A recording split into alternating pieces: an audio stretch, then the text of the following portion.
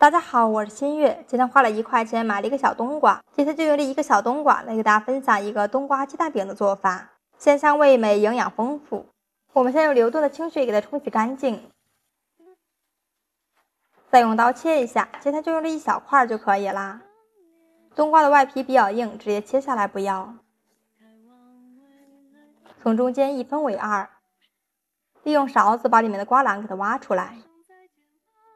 去掉瓜瓤以后，再从中间给它切一刀，然后给它切成薄薄的厚片。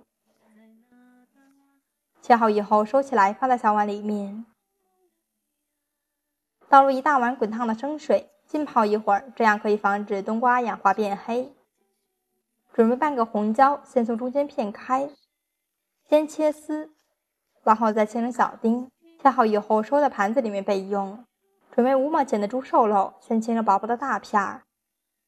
然后切成长条，最后切成小丁，收起来放在小碗中。去小菜园里面刨上几颗小葱，切成葱花，收起来放在盘子里面。准备几瓣大蒜，先切成薄薄的厚片，然后再剁几下剁成蒜末。切好以后收入盘中。这个时候我们的冬瓜已经泡好了，倒在漏网里面控掉水分，放在盘子里面备用。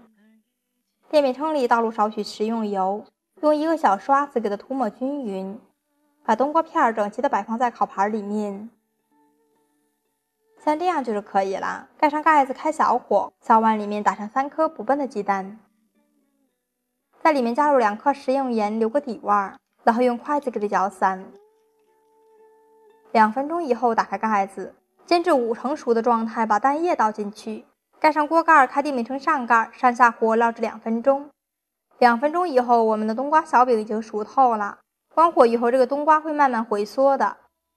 我们想办法给它取出来。锅子烧干以后，倒入八二年菜籽油，油温烧着冒青烟以后，加入肉末炒香。炒至上色以后，加入生抽，翻炒均匀，加入蒜末、红椒丁，大火给它炒香。炒香以后，加入清水。下面开始调味儿，加入两勺食用盐、胡椒粉，大火烧开以后，加入淀粉水勾一下芡，用铲子搅拌到汤汁粘稠，然后加入一把小葱花，关火出锅，把炒好的料汁浇在冬瓜上面。冬瓜不要总是炖着吃或者是炒着吃了，可以来尝试一下这种新鲜的做法，方法简单，味道独特，有菜有蛋有肉，营养丰富全面。吃起来鲜香味美，非常的好吃。如果你也感兴趣的话，那就收藏起来试试吧。